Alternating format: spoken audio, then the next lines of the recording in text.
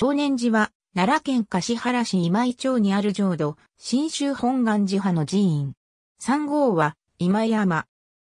本尊は、阿弥陀如来。今井御坊とも称される。大和五箇所御坊、十六大坊の一つで中本山に列する。川瀬権八郎兵部上州綱が、石山本願寺の県女商人から事号を得て、今井号に念仏道場を建てたことに始まる。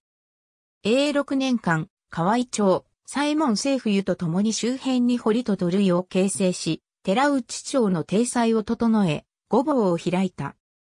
なお、川瀬宗綱、不幸府氏は1575年から1582年まで、今井里にはおらず、信長の死後、1583年に復帰している。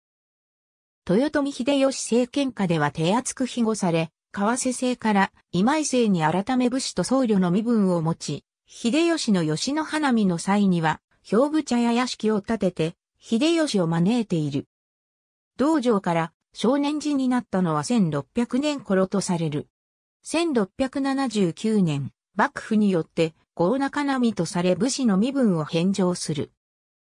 1877年、明治天皇行幸の安西所となった折に、西郷高森挙兵の一報が入ったという逸話があるが、暴発の恐れがあるとの一報が入ったというのが真相のようである。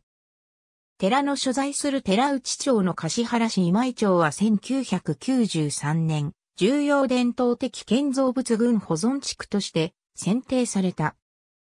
少年寺本堂は2002年5月23日、浄土真宗寺院の本堂としては本山の本願寺以外で初めて国の重要文化財に指定された。1998年、本堂が台風の被害を受け補強工事を施したものの、建物自体の経年劣化が著しく、2010年4月から2022年春までの予定で初の解体修理を行っている。ありがとうございます。